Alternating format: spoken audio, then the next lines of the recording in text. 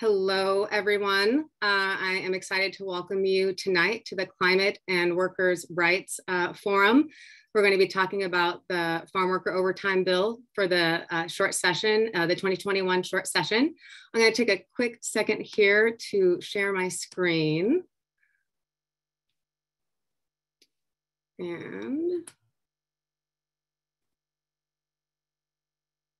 There we go. Um, I would, uh, first of all, I'd like to thank all of our uh, hosts for today, uh, the Oregon Environmental Council.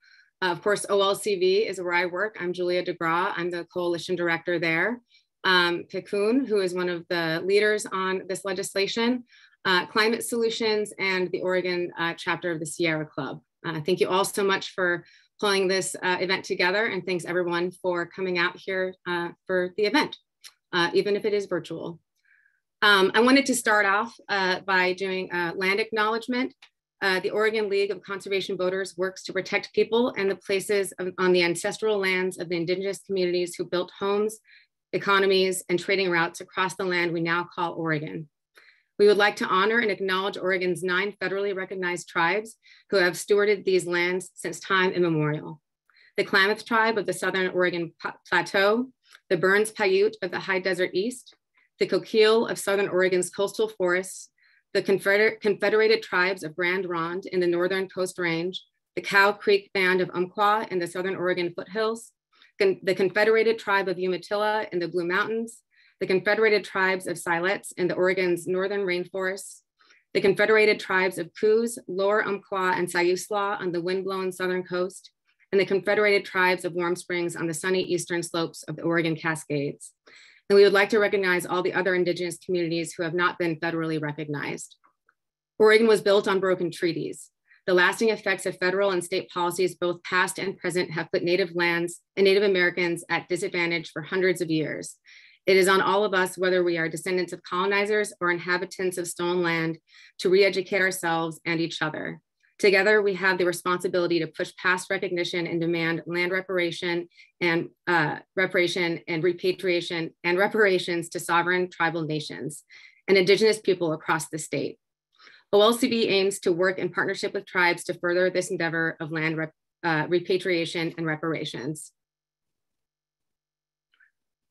Uh, and moving on to the agenda, um, this is uh, the agenda for the day. We are going to hear from uh, Representative Andrea Salinas, who is championing this bill and has championed many important priorities uh, over her uh, years in the Oregon State Legislature. Uh, we are going to be hearing from a couple of other speakers from the environmental movement. We have someone coming in from the Sierra Club and the Oregon Environmental Council and they'll be hearing from folks at PCUN uh, about the farm worker overtime bill, getting more details about the bill. Then we'll have time for Q&A. Uh, throughout the event, you can drop uh, your questions in the chat and we will do our best to get to all of them. Um, and also have uh, folks be able to ask them out loud uh, during that Q&A section. And then we'll um, let you all know what you can do to help out to get this bill across the finish line in the 2022 uh, session and have a, a, training at the very end for how to participate in testimony writing. Um, and just real quick uh, on Zoom, uh, uh, we just recommend that you use that chat function to interact with us. And um, I think that's it. Uh, without further ado, I'm going to introduce uh, our champion of this bill, Representative Andrea Salinas. Thank you so much for taking time out of your incredibly busy day to be with us today and uh, tell us about this bill. Great. Thank you so much, Julia. So, um, and thank you everyone who joined us um, here today. Since March 2020, Oregonians in every corner of the state have suffered through endless challenges from the pandemic to catastrophic wildfires to a record breaking heat wave. No community has been left unscathed. But Oregon's farm worker community has been hit exceptionally hard. Many workplaces were able to shift to remote work during the early days of the pandemic. Farm workers could not because of the essential in person nature of their work.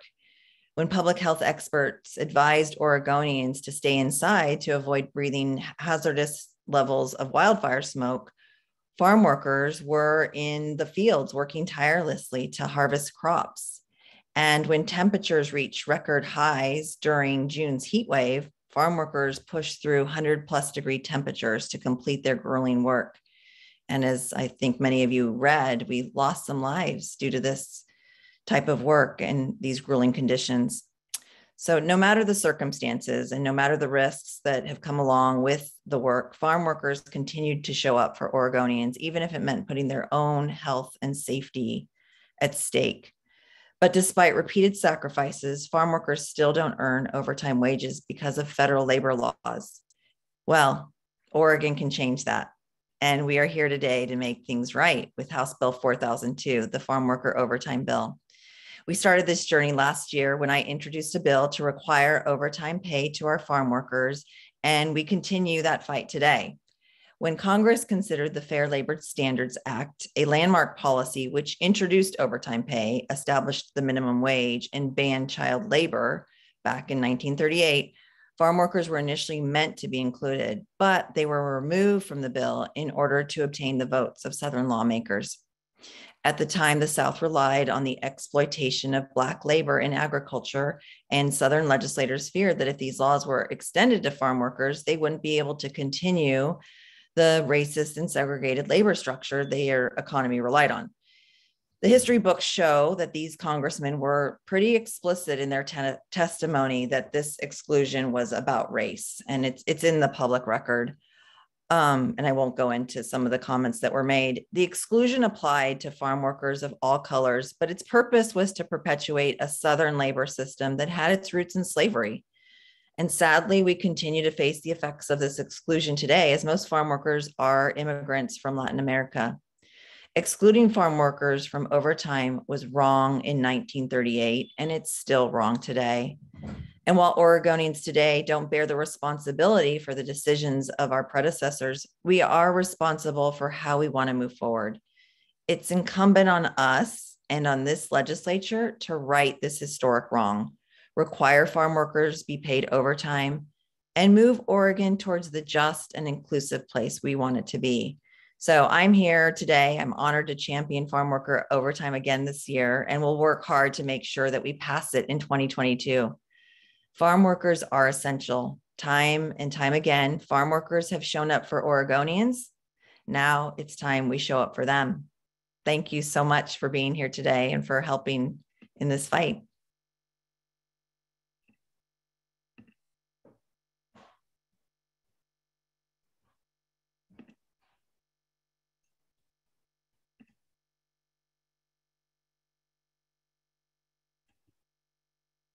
I just realized I was muted, everybody. Welcome to Zoom land.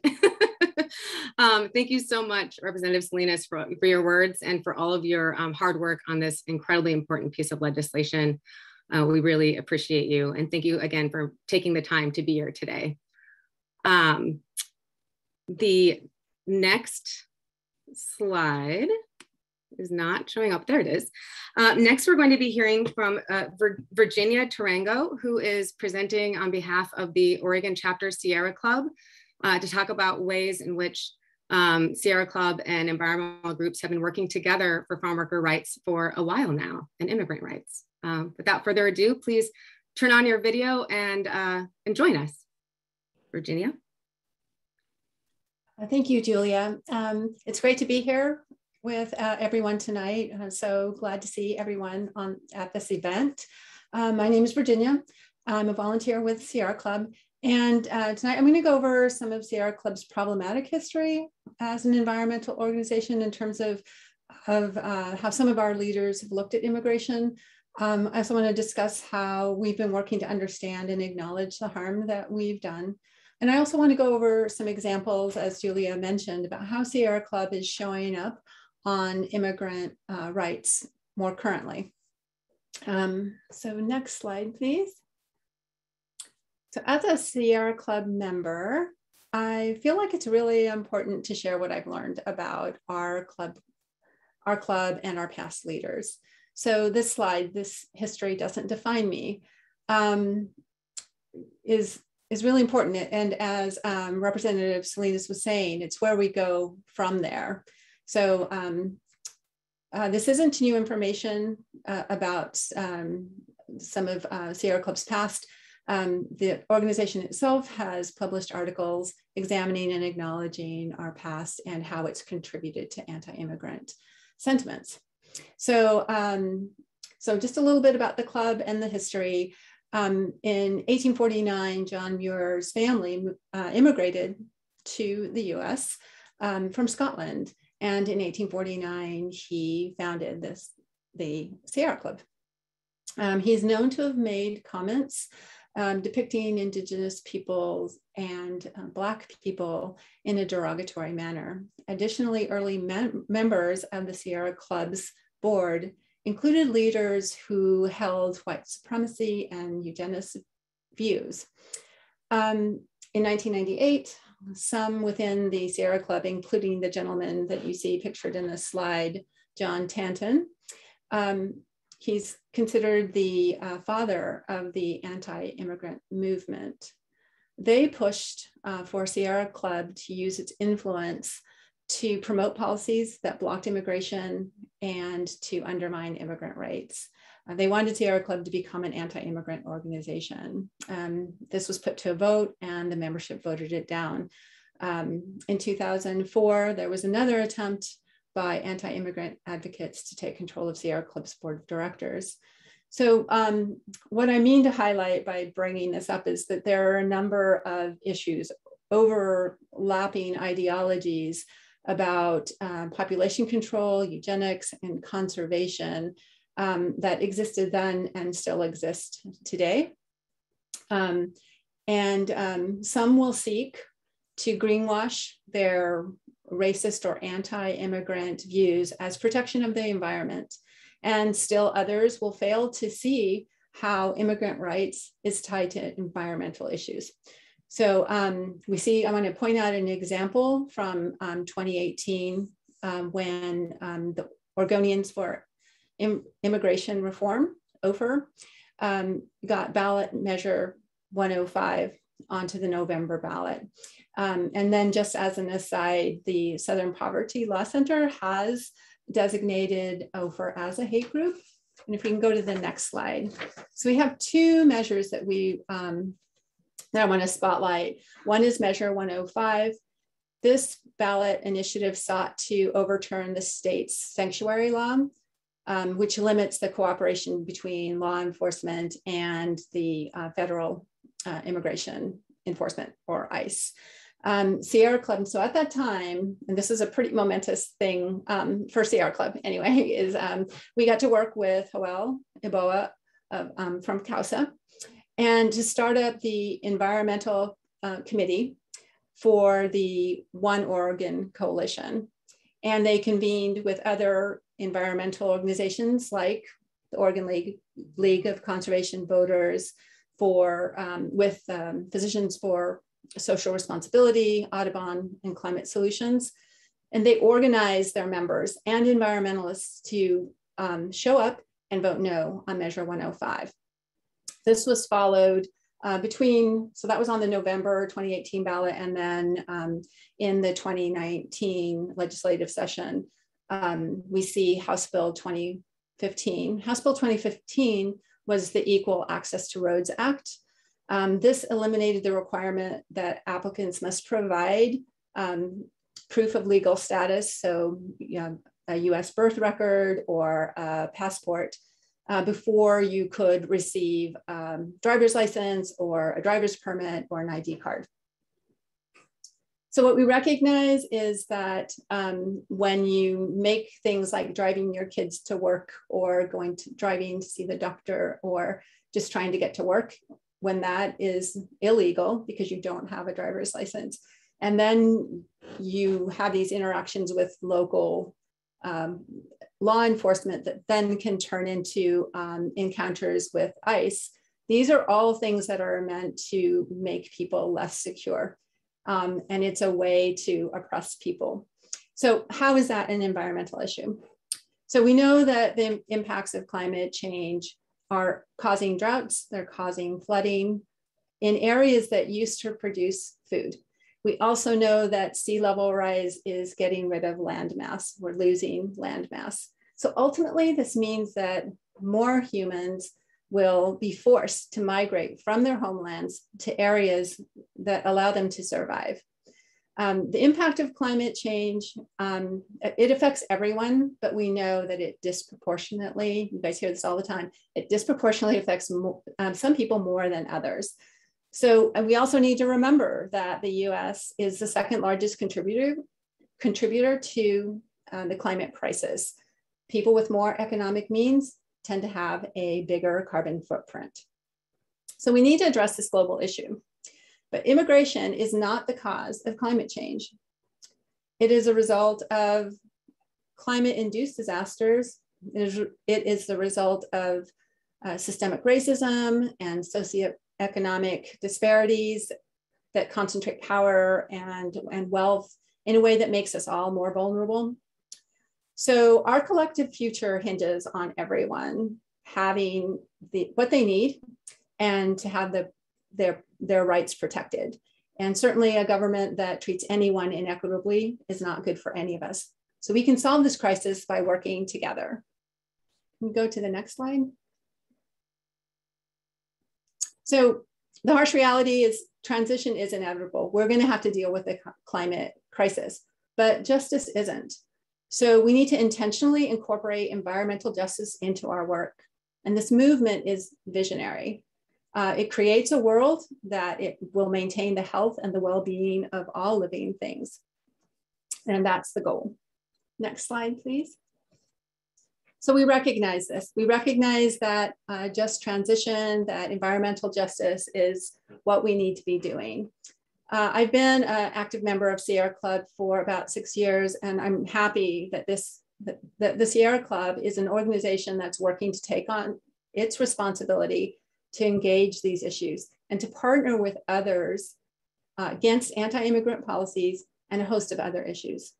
Together we win, we win big and we win big for everyone. So um, thank you so much for this time to share, share um, how uh, the environmental organizations are working collaboratively to make positive change. Thank you. Thank you so much for sharing that history. I think it's really important for us to understand uh, where we're coming from in order in order to understand how to move forward uh, differently and, and with intention. So thank you so much for that background.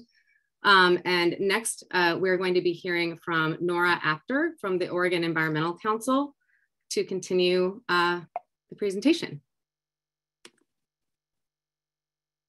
Thank you, Julia. Hi, everybody. I'm so grateful for the opportunity to be here today to speak to the importance of this issue um, and specifically to the power of climate and worker advocates working together. Um, as environmental advocates, which I know we have many on the call, we're all too aware of the science that tells us we must take urgent action to reduce fossil fuel emissions and address climate change. Um, but as people living in Oregon, we don't have to be scientists to know that the impacts of climate change are already here. We've all seen and experienced firsthand the devastating and deadly climate fueled wildfires and extreme heat that have ravaged our state in recent summers. And I want everybody to think about the sun beating down during the hottest hours of the heat dome last summer, or the thick wall of smoke outside your window during the worst days of the September 2020 wildfire events. Now think about being outside doing arduous labor for hours on end in those dangerous and extreme temperature and smoke conditions. For thousands of Oregon farm workers, that is their reality. Our farm workers are really on the front lines of the climate crisis and bear the brunt of these impacts. But as we've heard, they remain one of the lowest paid workers um, in the country. And it really cannot be overstated. The risk of these climate hazards is severe. Exposure to wildfire smoke and excessive heat have serious lasting health implications, including increased risk of respiratory and cardiovascular disease, kidney failure, heat stroke, or even death. And as many of us are, are well aware, just last summer, extreme heat killed a migrant farm worker named Sebastian, Sebastian Francisco Perez, who died alone while laying irrigation pipes at a farm in St. Paul, Oregon. Yet Sebastian was not the only fatality from extreme heat last summer. And in addition to the um, over 100 deaths in Oregon due to heat illness and the hundreds more emergency room visits, there were 254 complaints submitted to Oregon OSHA just between June 24th and June 28th, and just for excessive heat exposure alone. So the disproportionate harm that our farm worker community has faced while working to feed Oregon families is unconscionable, unacceptable, and it is also entirely preventable. Um, next slide, please. Thank you. So recognizing uh, the need for a concerted effort to achieve more equitable health, health outcomes for Oregon communities, PCUN and uh, my organization, Oregon Environmental Council, came together in 2020 to form what we call the OCAP Health Table. And for those not familiar with that acronym, OCAP is short for the Oregon Climate Action Plan. So since that time, we have worked together with dozens of other climate, environmental justice, worker protection, youth, and public health partners to advocate for lasting equitable public health and climate outcomes through the implementation of Governor Brown's executive order on climate, or OCAP. And thanks to the strong partnership of PCUN and OEC and our many other valued partners at the OCAP Health Table and beyond, we have made some really incredible progress to increase public knowledge and awareness of the public health impacts of climate change in Oregon and advance policies to protect human health and mitigate climate change impacts. Next slide, please. Uh, so significantly, OEC and PCUN have worked hand in hand over the last year to advance strong standards to protect workers from wildfire smoke and extreme heat. Um, so this time, timeline here highlights some really major events in this year-long campaign, but What's not pictured here are the countless stakeholder conversations, briefings, letters, and rulemaking meetings that our organizations and our coalition have engaged tirelessly in and which have led to some rem really remarkable progress. Um, notably, spurred in part by the death of Sebastian, as well as pressure from PCUN, OEC, Northwest Workers Justice Project, and again, many, many other partners, Oregon OSHA made great strides this past summer by enacting emergency rules to protect workers from climate fueled excessive heat and smoke. These are the strongest such rules in the country. And what they do is require simple, common sense protections like providing access to shade and cold drinking water, or when temperatures spike above certain extremes, um, additional measures kick in, such as increased breaks and active monitoring for heat illness. OEC, PCUN, and our partner organizations have continued to push Oregon OSHA to adopt strong permanent protections for workers, and we are really hopeful that those rules will be finalized and adopted this spring. Um, it's also worth noting these efforts are making an impact on the national scale the Biden administration and Department of Labor have taken some new protective measures to, um, to protect workers from the hazards of extreme heat. And we're also making headway in the legislature where we're working with Rep. Alonso León to pass a resolution that we hope will pave the way for future legislative action to protect workers from these climate extremes and ensure no worker is faced with the decision to choose between their health and their paycheck. Um, so I'm talking about this campaign because I think it's really important to emphasize that our success has um, been really based on the broad um, and diverse coalition of organizations engaging at every step of this process with PCUN and, and OEC um, at the helm. But I also want to be clear, the OCAP Health Table and this heat and smoke rulemaking process um, are by no means the, the beginning of OEC and PCUN's partnership. PCUN has been a invaluable partner to OEC and the broader environmental community for years, well beyond mine and Ira's time as co-leads of the OCAP Health Table. PCUN was a core partner for the Clean Energy Jobs Campaign. They helped to direct campaign strategy and ensure strong climate and community outcomes. They hosted coalition meetings, inspired crowds at rallies, turned out members and youth on lobby days, and time and time again, Ira and his colleagues have showed up to provide compelling testimony in support of climate protections. So now is the time to show up for our frontline workers by supporting their push for overtime wages. And with that, I will turn it to Ira.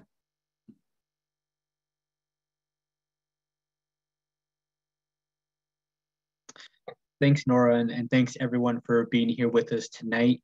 Uh, my name is Ira Cuello Martinez. I am the policy manager at PCUN, Oregon's Farm Worker Union, based here in Woodburn, Oregon. Uh, and today um, we are having this forum to make the connections between farm worker rights uh, and, and climate uh, and environment being um, involved and how, how farm workers intersect with these issues. Um, and I think one of the first things I, I wanted to bring up um, with regards to farm workers and, and the environment is that farm workers have, have been facing a lot of these issues for, for many years now.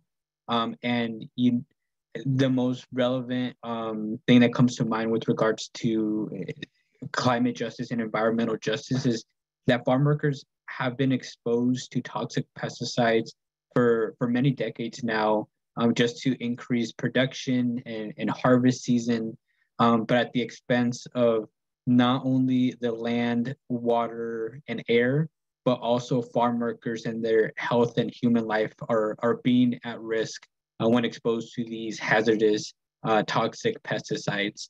Um, and into, in addition to these pesticides, um, the other issue that we've seen emerging over the last years uh, and intensifying over the last few years is, as Nora mentioned, the excessive heat and the wildfire smoke that's present in in the fields and in different workplaces for farm workers. Uh, that's an area where um, we know that it's only going to get worse, uh, and it's being fueled by climate change from uh, all the different um, pollution that's coming from from corporations and other entities. Um, so now we, as a state, have a responsibility to ensure farm workers are um, earning strong wages and ensuring that we limit the exposure to hazardous conditions like the smoke, like the excessive heat, um, toxic pesticides, and, then, and numerous other um, uh, hazards that they face on the job place. Uh, so that's how I wanted to open up today's conversation and, and how we're making these connections between um, climate, environment, and workers' rights is, is the fact that these farm workers are, are our frontline workers and they're essential workers um, yet they're not being treated as as equally as every other worker. Um, and we're hoping the that the environment and climate community uh, can come support our our efforts to to make some changes for for the farm workers um, in the state of Oregon. So we can go to the next slide, please. Um, so uh, I just want to highlight the issue that we have at hand that, that farm workers are prioritizing for the 2022 legislative session. Um, and the simple fact is that farm workers are excluded from overtime pay. Um, most workers in Oregon um, are, re- are already receiving overtime pay, which is 1.5 times regular pay after every hour worked after 40 hours in a work week. Um, I think overtimes are really a really general and um, well-known concept that every worker has uh, either benefited from or has heard about. Um, however, the overtime rules are different for some workers and, and people who work in different capacities, including in government agencies, in hospitals, in canneries, and factories. However, within with regards to agricultural labor, it is completely excluded and they don't have any guarantees of receiving overtime benefits, even after working uh, after uh, 40 hours in the work week. Um, and this is impacting about 87,000 farm workers in Oregon who are all excluded from overtime pay. Um, and the majority of these workers are seasonal farm workers who remain in this state year round. Um, and uh, about 30% of these folks are, are migrant farm workers who are coming from California, Washington, other parts of the country, and other parts of the world. Um, and so that's just wanted to give uh, um, some context around uh, the issue and, and how many farm workers are being impacted by, by this exclusion. We can go to the next slide, please. Um, and uh, Representative Salinas uh, touched on this already, um, but this there, there's a history and legacy of exclusion when it comes to farm workers and, and workers' rights. Um, so I just want to remind folks that the reason overtime laws were established in the first place was to reduce the risk of injury and burnout for workers um, as they continue to work excessive hours uh, um, and beyond a reasonable limit. Um, many public health experts um, have, have noted the impacts that overtime has on, on workers and on, on human health. Um, and, and the reason that it was created was to mitigate the amount of, uh, of excessive work um, people were going through. Um, and the, these overtime laws were created through the Federal Labor Standards Act of 1938. However, there was an exclusion of two particular types of workers through the act. Um, the first is farm workers who, which we're looking to change today, and the second of which is, is domestic workers. These uh, both a class of workers have been excluded from overtime pay, as well as minimum wage and child labor regulations. Uh, and this all stems from Jim Crow era, Jim Crow era white supremacy and, and wanting to maintain this um, uh, this hierarchical structure based on race. Um, that again, legislators in the past were um, uh, sharing their testimonies in, in public comment uh, and in public hearings, and it's and they're really direct and explicit when it comes to the reasoning behind wanting to exclude farm workers and domestic workers from from these basic guarantees. Um, and so we know that the demographics of farm workers have changed over the years. Um, and you, while the Fair, uh, Fair Labor Standards Act um, was created in an era where the majority of farm workers were African American and Black farm workers, uh, now we've seen that the majority of farm workers have shifted uh, to being immigrants from Latin America and the Caribbean. Um, regardless of the shift in demographic, we know that excluding farm workers from overtime pay was wrong in 1938, uh, and it continues to be wrong today. And so that is why we are looking to to shift this exclude to end this exclusion uh, and ensure farm workers are paid equitably for for the job that they do. Go to the next slide, please.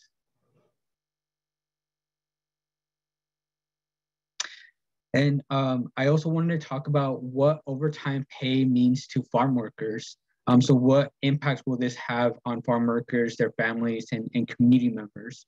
Um, and first and foremost, I want to highlight that this would bring equality and justice to the farm worker community. They would receive the same overtime guarantees as every other worker by ending a racist exclusion of farm workers, uh, and and they would get um, something that they they should have been included from the start. Um, so that's making sure that they're on equal uh, level field as as every other worker, um, and, and, and ending this exclusion of, of Jim Crow era. The second thing I wanted to highlight for you all is the health and well-being aspect of, of overtime to farm workers. Um, if, if overtime pay were to pass, this would also achieve better health outcomes for farm workers so that they're not working excessive hours or being exposed to the hazardous climate conditions that we've mentioned before. Um, so this is uh, uh really where a lot of the uh, um, intersections with climate and environment comes in because we know that climate change is, is happening and only getting worse.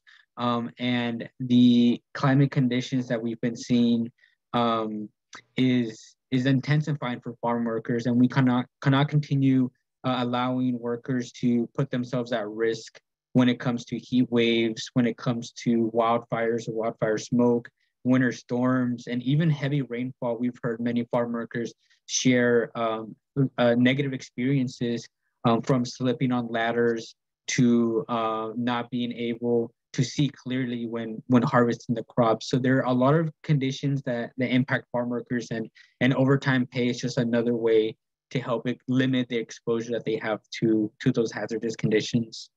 The next thing I wanted to uh, highlight for you all is around the quality of life for farm workers.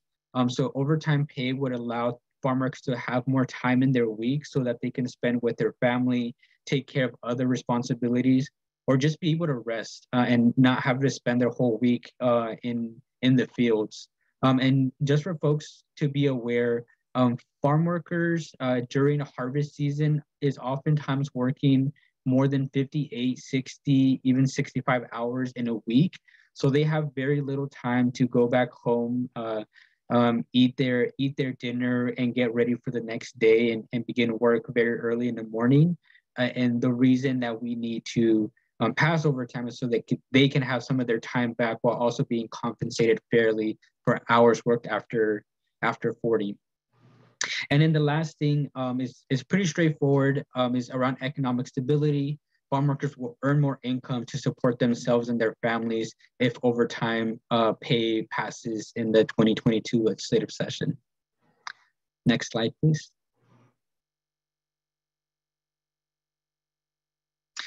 So uh, the solution that we have to end this um, uh, racist exclusion of, of, farm workers from overtime pay um, is HB 4002.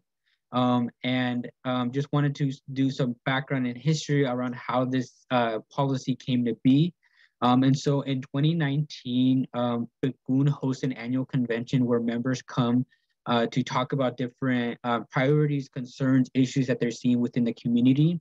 Um, and they get to vote on our political agenda as PCUN around what priorities that we want to have for upcoming legislative sessions. Um, and in this annual convention is where uh, members were sharing that they were seeing some uh, changes with regards to overtime laws in California and that farms were beginning to pay overtime um, and we're implementing that in in the state of California, and we're wondering what's the situation looking like in Oregon and how we can change that to ensure farm workers also get overtime pay um, in our state. Um, and so after doing research and preparation for the next year, um, in 2021, we introduced farm worker overtime bill. Um, and unfortunately, the bill did not pass during the 2021 legislative session. However, we are coming back in 2022 to reintroduce the policy uh, and it's uh, currently um, known as HB 4002, which is being led by Representative Holvey, and as you heard, Representative Salinas, who is our champion on the on the policy. Um, this is their proposal to help us achieve overtime pay to farm workers, and there are three main components of the policy um, that you should all be aware of. The first is that um, the overtime law would, uh, the overtime policy would apply to both workers who are paid at an hourly rate or by piece rate. These are workers who are paid either by the bucket or by the pound or by the amount of um, uh, produce that they, they pick and harvest. Uh, so both of these workers would receive overtime wages under this policy, and it will be a five-year transition period into achieving overtime pay at a 40-hour threshold. Um, and this is uh, this is something very difficult for us as advocates, as as farm worker advocates, to um, to see because we we believe farm workers deserve overtime immediately. Um, we don't think farm workers should have to wait five years to receive a uh, to receive a basic um, right that every other worker already receives. Um, and so that's that is something hard that for us as advocates we've seen and are are hopeful that we can get there at a, at a faster rate. Um, but as it stands right now, that's what the, the proposal and the policy says. Um, and in addition to the five-year transition period, there is also a tax credit that will be available to growers during that transition period so that they can uh, pay farm workers overtime wages when they're exceeding 40 hours in a work week. Um, so those are the three pieces of the policy that I wanted to share uh, with you all today. Um, and um, with regards to farm worker overtime in HB um, 4002. Um, and I and that's uh, all that I have for my presentation. We welcome uh, questions that folks have um, in in the chat box. Um, and if you also want to raise your hand, and we can take questions verbally as well.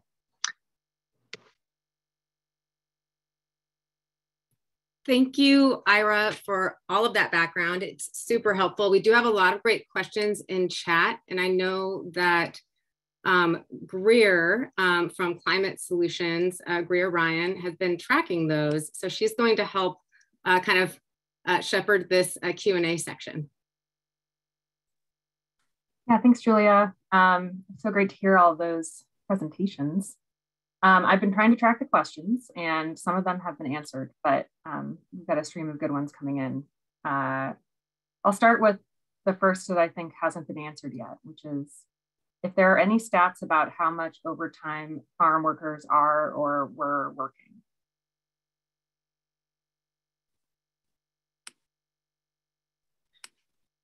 Could you could you repeat that question one more time, Greer?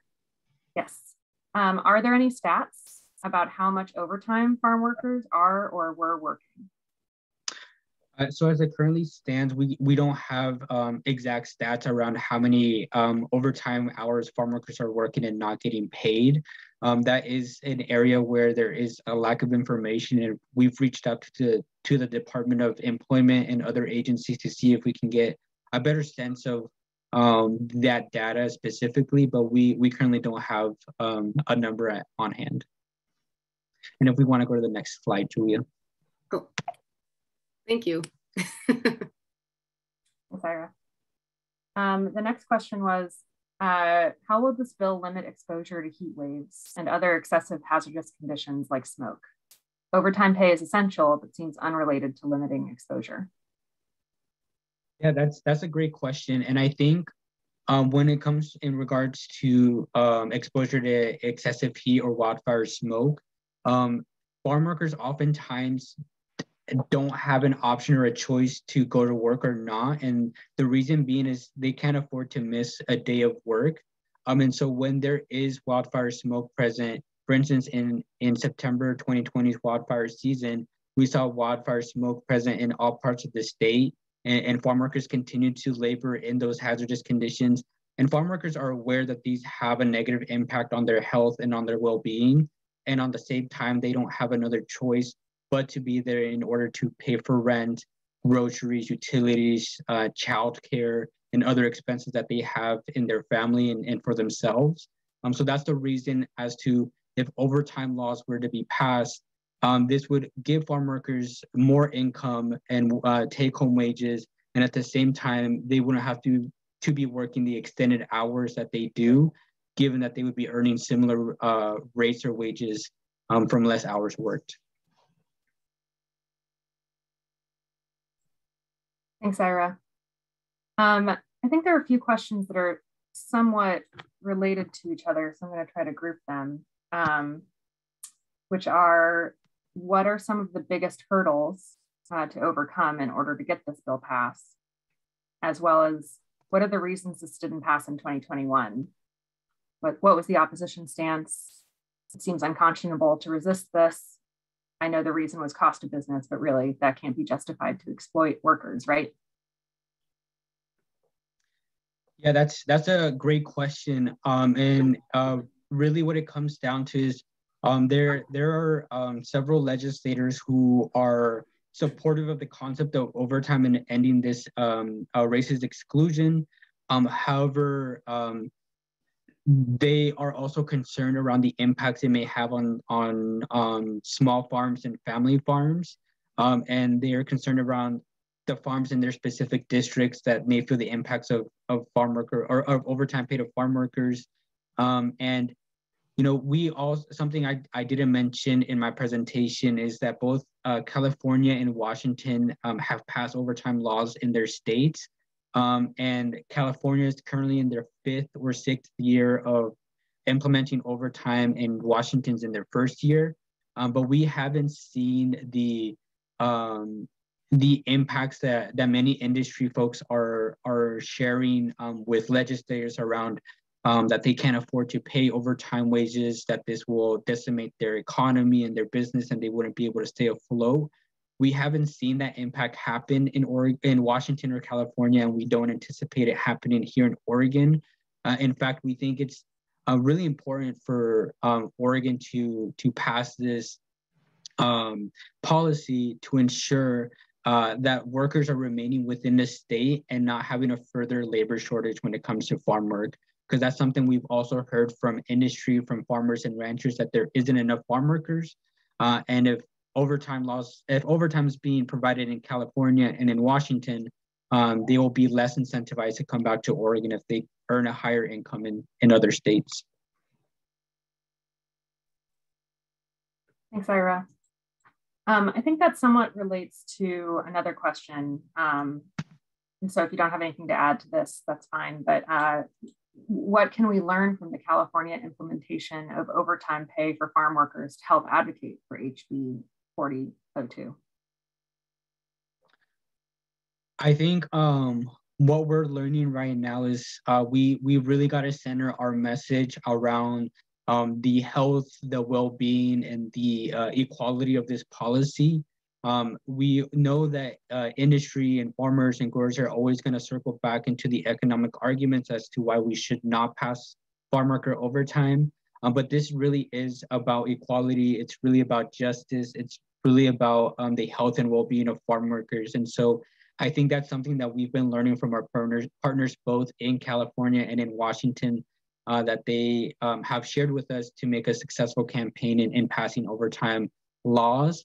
Um, and um, the other pieces of it is um, that we, are learning from them is around this uh, economic support that Oregon is offering that isn't offered in California and it's not offered in um, in in Washington either.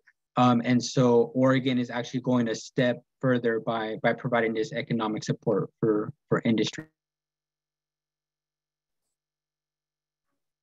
Awesome. Um, a few just details about the bill, detailed questions. One is, uh, how would this transition work over five years? And it relates to another question, which is, is there a tax credit there to incentivize farmers to pay farm workers overtime during the five-year transition period? And does it end after five years?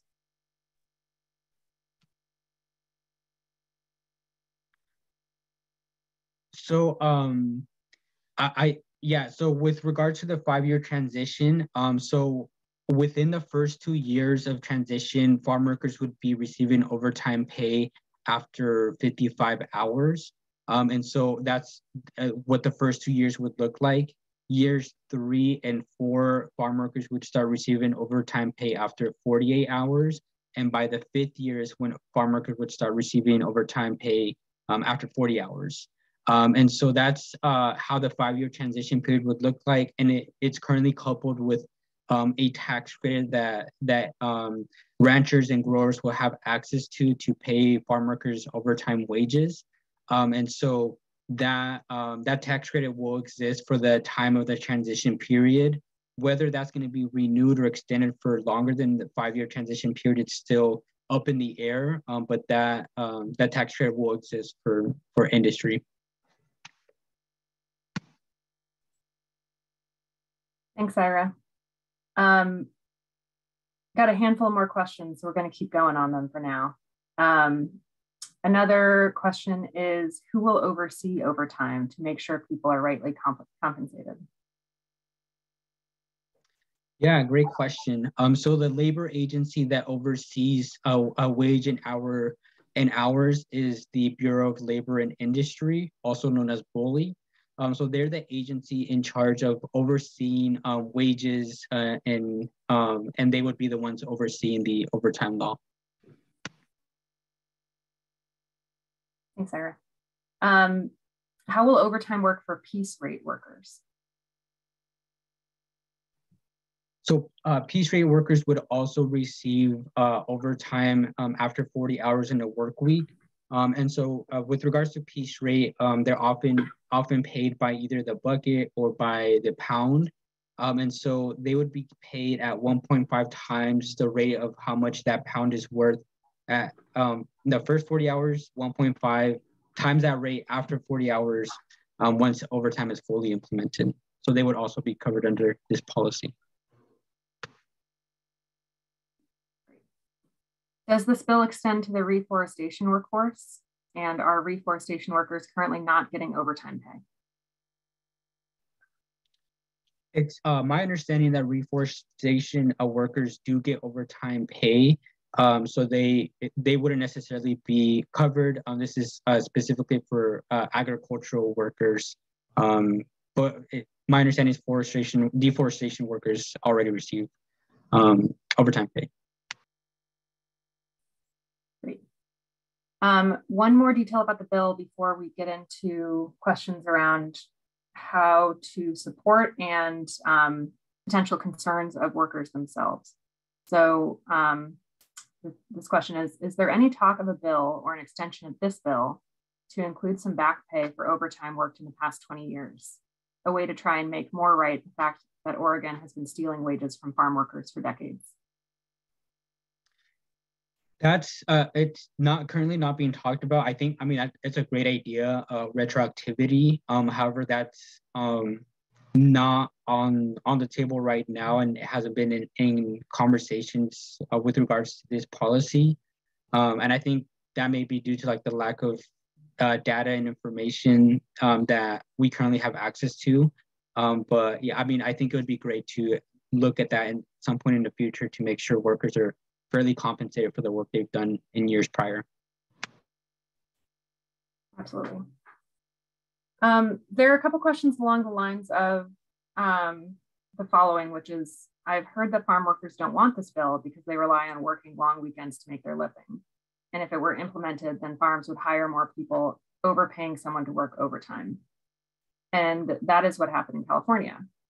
Uh, similar question is opponents of HB 4002 are stating that establishing overtime protection for agricultural workers will reduce their overall take home pay.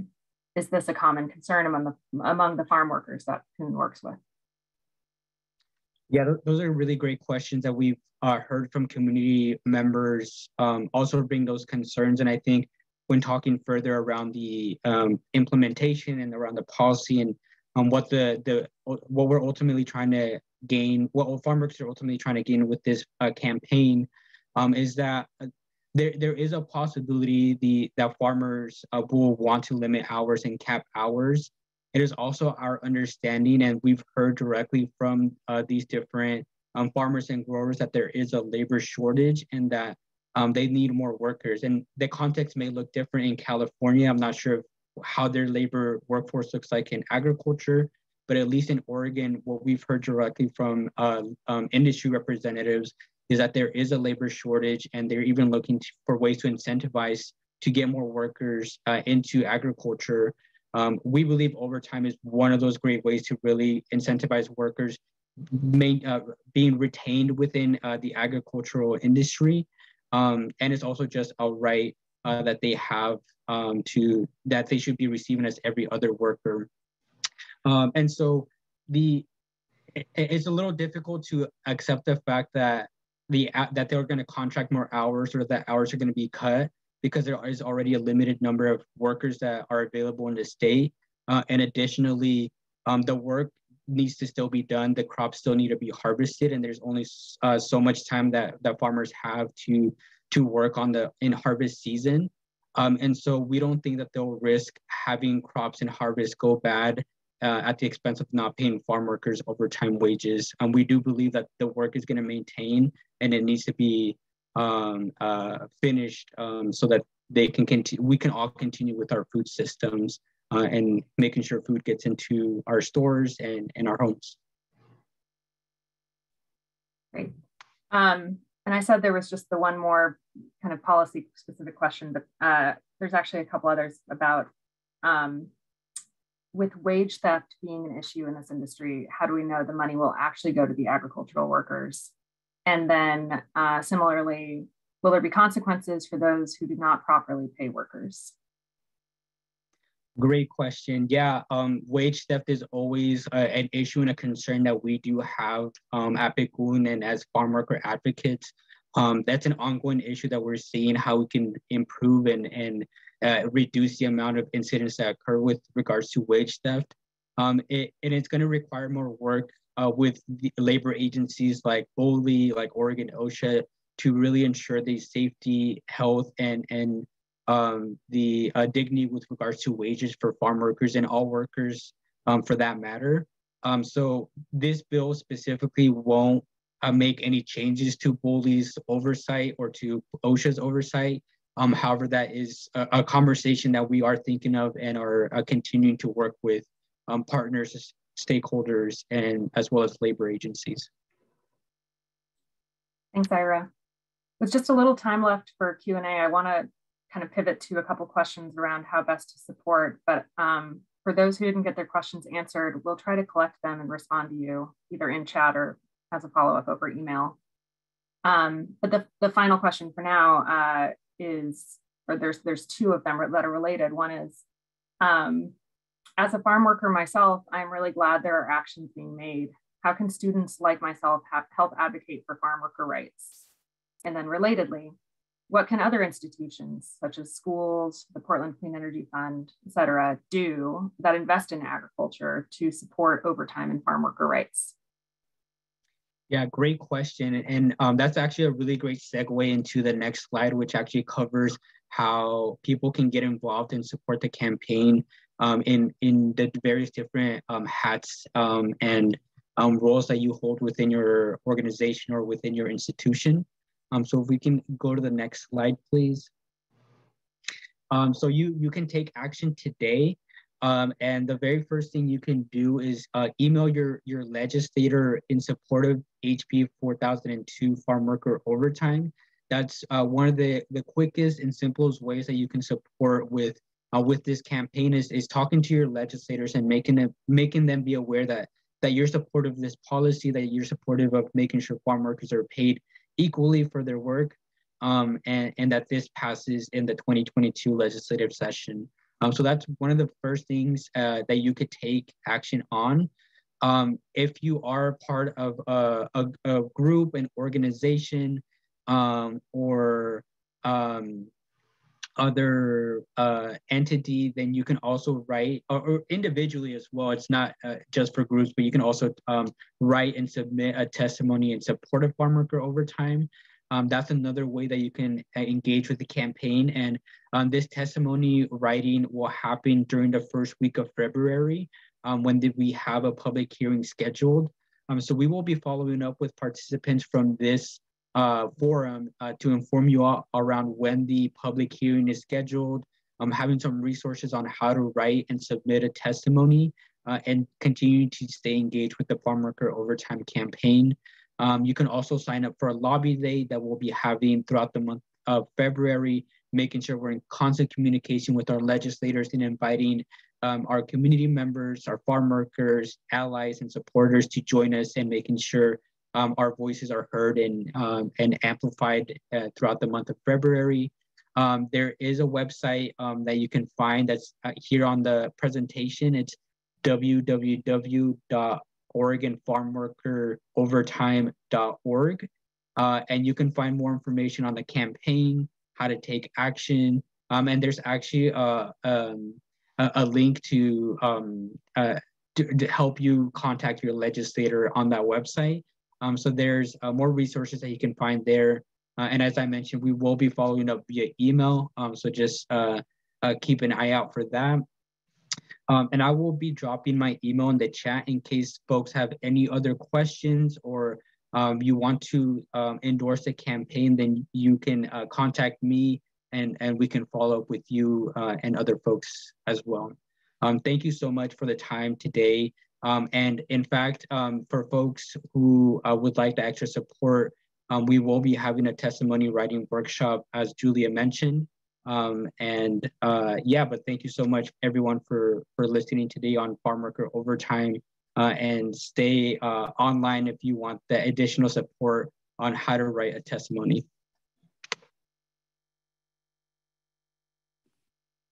That was amazing, Ira. Just for the record.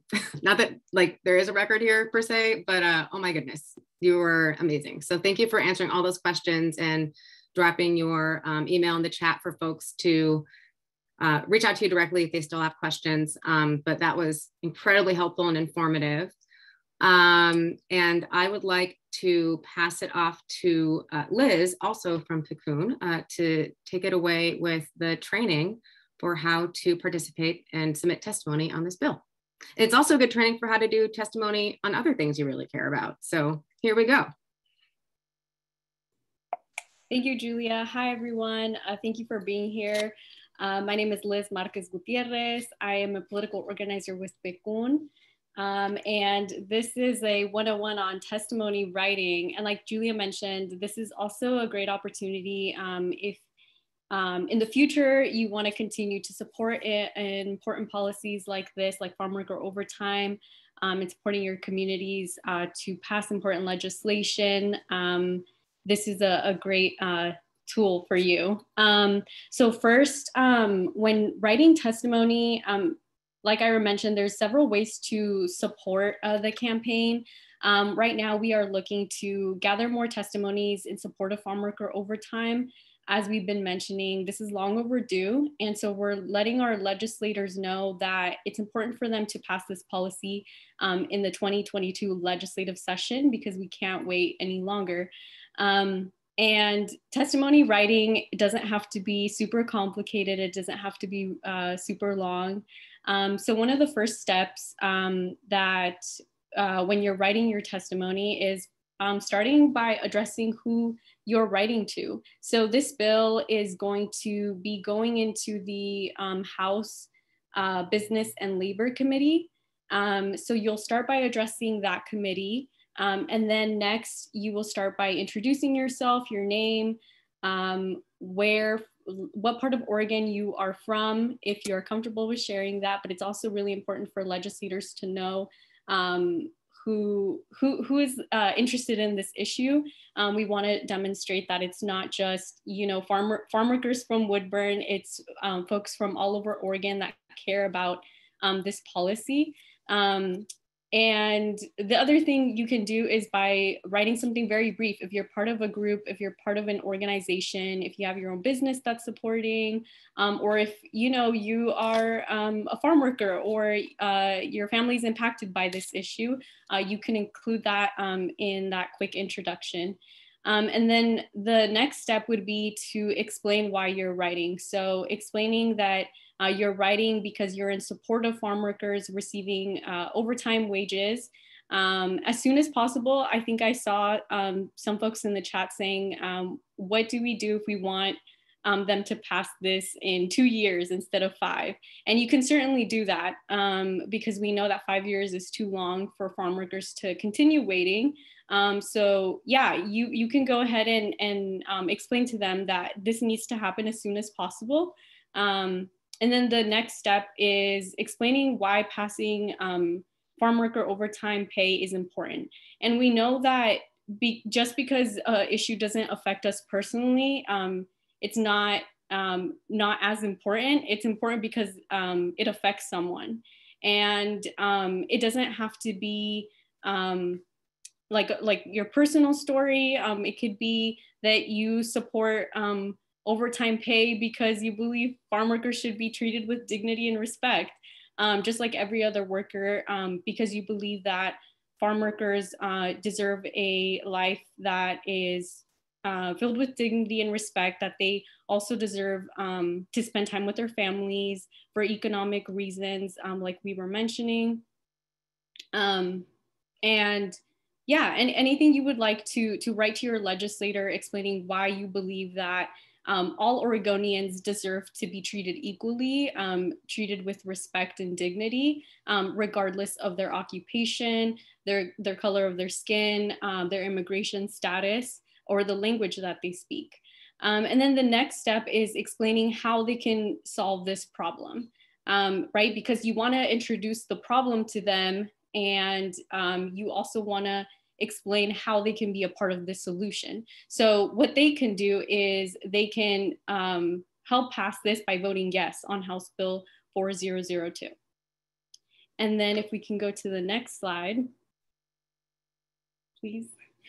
Um, so this is an example of what uh, a testimony would look like um, if you want something super simple. Um, so here we have like, you know, step one, and it has the names of the members of the House um, Business and Labor Committee. And then step two, um, you know, I put myself in as an example, my name, where I'm from, and my my organization, like uh, my affiliation, as you would say. Um, and then step three, um, that I'm writing in support of um, House Bill 4002, farm worker overtime, and step four, um, why this issue is important because farm workers are the backbone of our food system and they're essential workers. They've been showing up for us um, despite a respiratory pandemic, the catastrophic wildfires, a snowstorm. Um, they are constantly exposed to heat and pesticides and they continue to put their um, health and safety at risk to make sure that not just their families have food on the table, but ours too. And so we need to show up for them um, like they've been showing up for us time and time and again. Um, and then step five is um, the solution where um, it's a call to action to legislators as well to take action and vote yes on House Bill 4002 to make sure that um, Oregon farm workers um, who are skilled laborers um, uh, are paid overtime wages. And then you would just uh, write sincerely or a thank you and you would sign your name. Next slide, please. So I'll stop there. Are there any questions on um, how to write your testimony? Do folks feel that this is something that's um, easy or? We have a question in the chat about the submission process. I believe that's the next section with screenshots and all that stuff that will help you understand how exactly to do it. Yes, that's a great question. Yeah, I think there's two of those. Maybe we should jump into the next section. Okay, yes, sounds good. Okay. All right, so this next section is, is uh, showing you how to submit your testimony on OLIS, also know, uh, and that's like short for the Oregon Legislative Information System. Uh, that's the um, that's uh, where you find uh, information on bills um, and what's happening at the state legislature. Next slide, please. All right, so some key um, things that you should know before submitting any testimony on OLIS is that this um, is public, like this information will be public. Um, so please uh, be cautious about your personal information, what you're including on your testimony. Uh, don't add any personal information like your address um, because like I mentioned, it's public and it'll be accessible for anyone who does a quick Google search. Um, and then the other thing is um, the testimony uploading time. So um, we will know, uh, we will know, I believe like a couple of days before um, when this uh, bill will have a public hearing. We are expecting something in the first couple of days of the legislative session, which starts uh, February 1st, so next Tuesday. Um, and so we'll have a hearing date, and that's when the submission um, to upload your testimony testimony will open. Um, but there's also a closing time when you can submit testimony. So after a bill's been heard, um, after 24 hours, um, you can no longer submit testimony. So there is a window. Um, so yeah, just be mindful of that if you would like to submit testimony. Next slide, please. So uh, what you would like, so what you uh, would want to do is Google OLS, Um, and if you just um, Google OLS, OLIS, um, it will come up um, and then you would go to the Oregon Legislative Information System. Um, on the upper right hand uh, is um, a circle and it says committee. So you would click on, uh, on on that tab. Um, and once that tab uh, opens up, it says, um, it brings a drop down menu that says like Senate, House, and Joint. And because this is a House bill, it will be heard on the House um, side first. So you would uh, click on uh, where it says House, and then it will have a drop down menu where it um, it has like the committee for the Business and Labor Committee, and you will click on that committee. Um, then it opens up to the picture that you're seeing now. Um, and it will say like House Committee on Business and Labor. And you would scroll down to the bottom where it says submit public testimony, which is what's circled in red. And you would click on click to submit testimony. Um, and next slide, please. So once you um, click on click to submit testimony link, um, it will have uh, this, uh, this screenshot that we have here. Um, it'll say testimony submission form and um, it'll have the committee chosen already for you. But um, right here where it's circled in red, you would need to select um, when the bill is being heard. Um, and again, like I mentioned, we don't have the hearing date for this yet, and we'll follow up with you all on when that will be so you know. Um, but once you have that information, you'll be able to select uh, the date for the hearing. And once you select the date, a list of all measures, so a list of all bills is going to pop up for you. And um, if we can go to the next slide, please. So once you um, click on the, the date for the hearing, um, this is gonna show up. So what the screenshot, um, like what you're seeing right now. Um, and once you are in that page, um, you will want to um, click next to the bill that you are going to be submitting testimony for. So it's going to have like a list um, of other bills, um, but you'll click next to uh, House Bill 4002.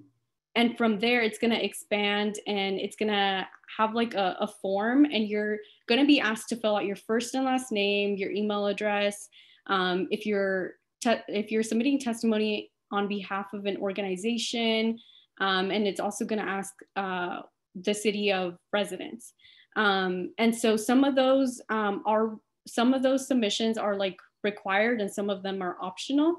Um, and then you will be asked to add your testimony. Um, so you can add your testimony one of two ways. You can either submit um, a testimony through the text box, text box that is showing uh, right here, um, but it is limited to about 4,000 characters, um, or you can upload a PDF of your testimony. So you'd either do one of those two if you're gonna be uploading a testimony. Um, if we can go to the next slide, please. If you're gonna be uploading a testimony, um, you'll select your document, document title, um, and then you will have to create your testimony in PDF format um, and add it to the testimony submission form uh, by clicking on the upload a PDF button and selecting your file to attach to, to the form. And then you will have to click on um, the CAPTCHA box uh, to verify that you're not a robot. And then you will hit uh, click uh, submit testimony. Um, and then from there, if your testimony has been uploaded successfully, um, you will be taken to a testimony submitted successfully page. Um, and yeah, that is a, a quick run through of what uploading a testimony will look like in for the 2022 legislative session. Are there any questions?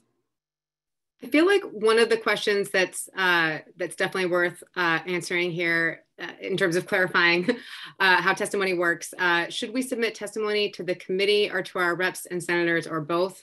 Um, you mentioned that the it's starting in a House committee, and when it gets a hearing, that first round in that House committee, you'd want to submit comments to that committee mm-hmm. um, during that window of time when the comment period is like happening. Mm-hmm. Um, do you want to walk us through like um, once the bill moves, how it would, uh, how we would, would communicate with like the senators? Yeah. Um, so another great way um, I believe that um, if a bill like because this bill might go to the Ways and Means Committee, which is like the Budget Committee, so folks would need to submit uh, testimonies if they would like to that committee as well. Um, and again, it's it's the the same process. You would need to go through the same submission form and know when the hearing date is. Um, folks can do that. Um, the other great way um, is, yes, continuing to send emails to your legislators with the link that Ira mentioned.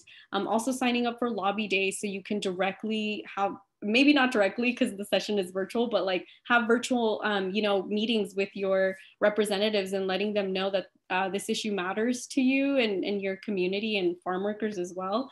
Um, so yeah, there, there's really great uh, opportunities um, depending on folks' capacity on uh, how they would like to um, send this message to their legislators. But writing a testimony is um, a great opportunity to expand on how you feel. And to make sure that it's in the record and that they, you know, know how many people are willing to go through this this process with all these different steps to make sure their voice is getting heard. Yeah. Um, something else I was um, going to add here is it's rather than you individually having to go into OLIS and like check, uh, you know, whether or not uh, Bill is getting a hearing, if folks sign up um, on your website to get notified um, or sign up for your email list, like I'm assuming that that'll be something you're communicating in close to real time to your supporters when the bill is moving? Yes. Um, yeah, we will be doing that. Um, if folks um, are interested, um, we will be sending uh, a notification on uh, when we'll have the public hearing um, and like updates on uh, what's happening during the session. And I can include, um, because I saw a couple of folks saying that their organizations would like to support. Um, and I am dropping my uh, email in the chat. Um, if you want to reach out and endorse uh, this campaign and be a part of the coalition, um, it's always great to, to work together to make sure that this is passed. OLCV, um, there's so many other great organizations that are partnering with us to pass this. So yeah, um, feel free to contact me for additional information. Okay. Um, looking through the questions. Oh yeah, and I think Elizabeth is mentioning something uh, really smart, which is you can sign up in the OLIS system to get notified about when bills are moving. That's another great way to make sure you don't miss your opportunity to get your testimony in on time. Um, we don't have a screenshot for that, so you can like just play around in OLIS for a bit, get really familiar because it's a virtual session means it's a virtual session. Um, so yeah, and, and the specific question is, will people who are part of this, participating in this forum, get an email about when um, hearings are happening? That's actually not a terrible idea for us to use this um, registration list for that communications. Um, and that actually reminds me now that we're down to much, much fewer participants than we had to begin with, but this, this uh, presentation has been recorded um, and we'll be sharing that with um, the participants as well so that you can um, you know, have that information. And also for folks who registered but weren't able to make it, they will be able to watch the, the recording of this. Um, but yeah, I, I think it, it's reasonable for us to, to um, include this list in that alert.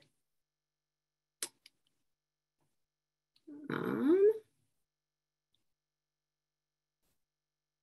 da, da, da. So she, someone wants clarity about how long the um, the submission period will be open after the hearing date. So it, that's the usually what happens is the hearing, uh, the public testimony time is up until the hearing itself. Um, once in a while, um, legislators who see a need for it will extend the the the the period that people can submit comments by about 24 hours, it seldom happens. And that deadline is hard. I've missed my opportunity to submit um, testimony because I was literally like a minute late. Like that's how it works. so I really urge you um, to to get your submission, your your your comments in not down to the wire because um, if you're a minute late, you miss your opportunity.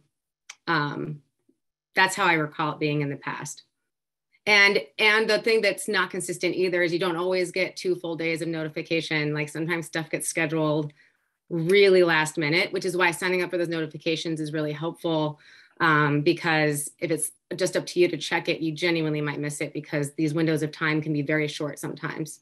It's not it's not the most um, inclusive democratic system And that brings a really great point, uh, Julia, that I wanted to mention. And I'm not sure if this was mentioned, but we are going to be in the short session, which means that uh, this session can be no longer than 35 days. So um, legislators have 35 days to push through um, all the bills that they're going to be passing um, in 35 days. So it starts next Tuesday, February 1st, and ends around the second week of March. Um, so yeah, everything is going to be moving pretty quickly. Um, so just keep in mind that. And again, like Julia was mentioning, it's virtual. So um, th there's that accessibility issue as well.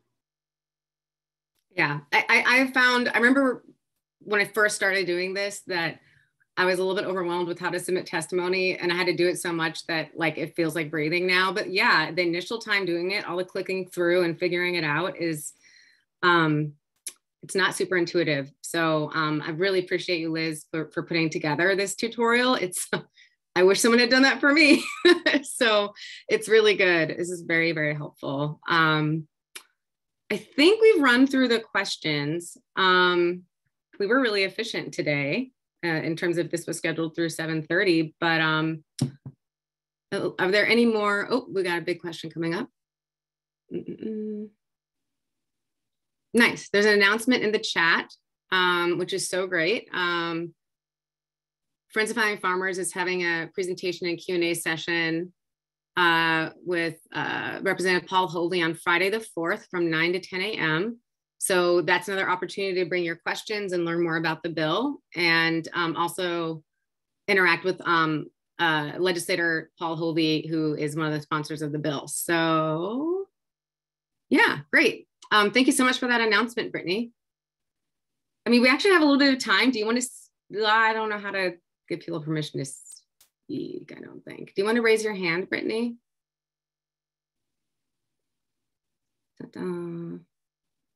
Give me a second.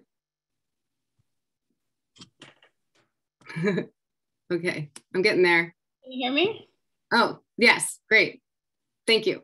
Awesome. Thank you. Thanks for announcing that. Yeah, we're just going to do a follow up. So we're going to have a conversation for small farmers so that we can kind of get dig deep into the bill with um, Representative Holvey to have him be able to kind of dig into like the nitty gritty of what this means for small farmers. And I'm hoping he can be able to be there for everybody to answer some questions. So um, yeah, it's at 9 a.m. next week, which is probably going to be go time. It's probably going to be the time that we're going to be actually getting our testimonies in. So hopefully he'll be able to help us um, kind of do some clear guidelines of how small farmers will be able to, to write their testimony and, and make their voice heard as well.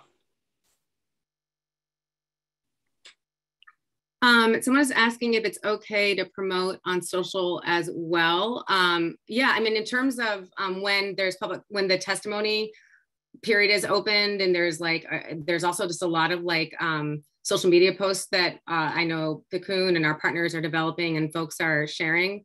Um, so you're definitely welcome to share that stuff on, on social media for sure. Um, I think, if, does that answer your question, um, Kimberly? Nice. Um, so yeah, definitely. I think one of the biggest ways where we're going to be able to encourage um, participation is by, you know, social media and uh, letters to the editor, um, sharing the stories of the farm workers, which um, OJTA, the Oregon Just Transition Alliance, and PCUN have really done an incredible job of, of um, collecting stories and having farm workers who are like um, proudly stepping forward in support of this bill. And it is going to be um, really impressive and, and, a, and a big show of force for this session. And I'm really excited about getting this thing over the finish line together. So um, thank you so much, everybody, again, for taking the time uh, to, to get through the training here at the end and for learning about this bill. Um, it's really one of the, the big priorities of the session, and we really appreciate you taking the time. So uh, thank you, Liz, for walking us through the, that incredible training. It's really, really useful. And thank you to all of our other panelists for, uh, for your participation and leadership on this. Thank you so much, and hope you all have a really wonderful night.